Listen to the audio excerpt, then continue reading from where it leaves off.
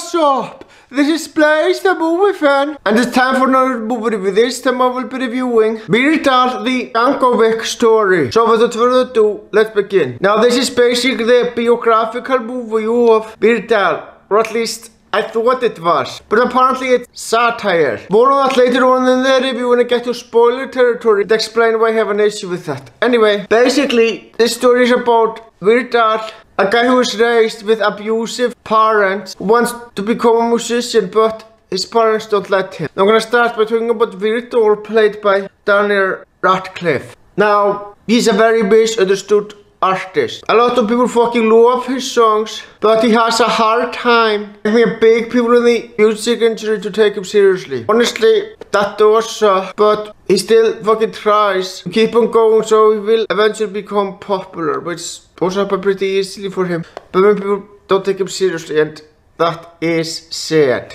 Honestly, I feel sorry for the guy, I really do. Just wants to make good music, that's it. So legitimately good music. I totally understand where he's coming from. Now his father is Nick Jankovic, played by Toby Huss, which is Al's father. And I'm just gonna come right out and say it. His father is a complete fucking cunt. I couldn't stand him at all. He wanted to make damn sure that Al couldn't go for his dreams and made damn sure that he wouldn't be a musician. Wow, what a cunt. Personally, I think this guy deserves to be fucking arrested because how he mistreats his son is completely fucking unacceptable. Now then, the third and final character that I want to talk about is Mary Yankovic, played by Julianne Nicholson. Now, the father is a cunt, but the mother is it much better. She legitimately thinks that his father has good intentions and has valid reasons behind what he's doing fucking no! I will admit she is a bit nicer to her than his father is. But that's not really saying much. The fact that she's siding with him shows that she isn't much fucking better. Now then, this is a pretty good movie for the most part. There is one big problem that I have with the movie. Two actually. But I cannot talk about these issues without getting into spoiler territory. So let's spoil some shit. Just a warning ahead of time. There are gonna be some spoilers. If you don't want the movie spoiled for you, skip to the part of the video where I'm done with the spoilers. There's a text on screen that tells you what it is, so yeah, just bear that in mind. The spoilers start now.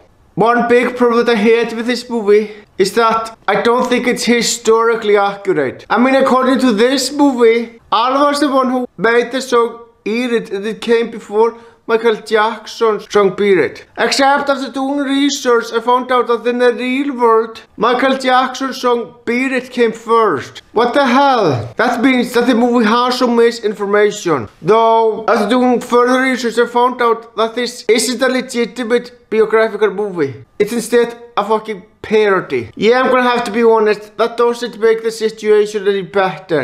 How the hell was I supposed to know that this movie is satire without specifically looking it up? I mean, the movie does such a good job convincing me what happened to the movie really happened. There are a few silly moments in the movie for sure, but for the most part, it's a serious movie and you can easily imagine all this stuff happening in real life. What the hell? Yeah, changing those events to make it work for the movie wasn't a really good plan. Even if the movie is entirely fictionalized, it's impossible to ignore this big change to what really fucking happened. I mean, it doesn't make the movie more interesting or fun or anything. This change on what really fucking happened didn't work and didn't do the movie any favors. Oh, and I also hate the ending of the movie. Alice fucking killed by the end of the movie. I know that the real person Weird Al is still alive, and honestly, an ending like that is just downright disrespectful to the real person. How the hell does fucking killing of the real person benefit the story in any way? It doesn't, it just comes off as disrespectful to me. Yeah, unfortunately those issues that I have are impossible to ignore since the movie focuses so much on that fucking